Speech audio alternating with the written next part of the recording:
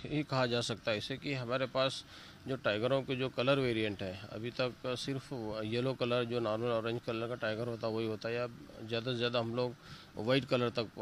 जाते थे white colour देखने को मिल जाता था। लेकिन इंदौर जू एकमात्र ऐसा जू है जहाँ पर चारों कलर वेरिएंट है, यानी कि normal colour yellow colour tiger है वाइट कलर का टाइगर भी है, उसके अलावा मेलेनिस्टिक ब्लैक टाइगर भी है और ब्लैक एंड वाइट टाइगर भी है। तो ये जो जिब्रा मार्किंग वाला, जो यूनिक कलर कोड वाला जो टाइगर का कब है, ये वाकई सेंटर सेंटर ऑफ़ अट्रैक्शन है हमारे जू का, जो जिसका फ़िज़िकल अपेयरेंस एक अलग ही दिखता है, जो नॉर्मल टाइगरों से वाइट और ब्लैक और नॉर्मल टाइगर से टोटली अलग है। तो एक मात्र ऐसा जू है जहाँ पर इस तरह का कलर वेरियंट देखने को मिल रहा है। सर, जो वाला आप बता रहे हैं, वो विश्व में पहला टाइगर अगर देखा जाए तो अपने पास में हाँ निश्चित रूप से पहले कभी एक नंदन कानन में हुआ था लेकिन आ,